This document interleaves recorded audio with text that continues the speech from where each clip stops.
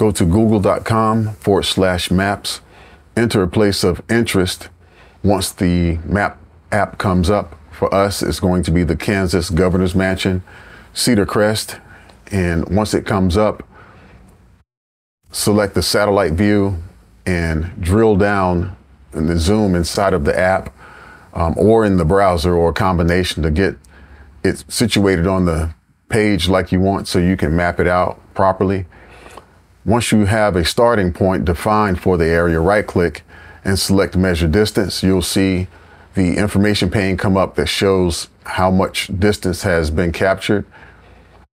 And then left click around the perimeter. If you make a mistake, like here, just click the dot that you just laid again and um, reselect the next dot.